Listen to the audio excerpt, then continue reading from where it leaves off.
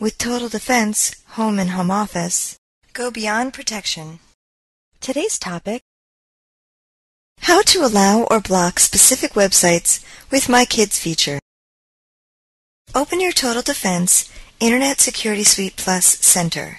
Then click on the My Kids section. Click on Change User to log in as the administrator. Select the administrator username from the list and enter the administrator password. Then click on Log In.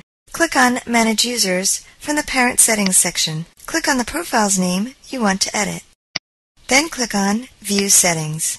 Click on the Site Filters section from the Settings tab. Scroll down to the Allow or Block Specific Sites section.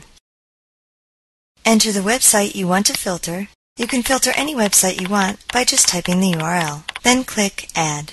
You can allow or block a website by clicking in the Allow or Block option in the line of the related domain. You can also use the list as restrictions to only allow or block websites based on the filter list. Just check the option, then click on Apply. This concludes how to filter websites in the My Kids feature of Total Defense Internet Security Suite. Visit TotalDefense.com for more details. Thank you for watching.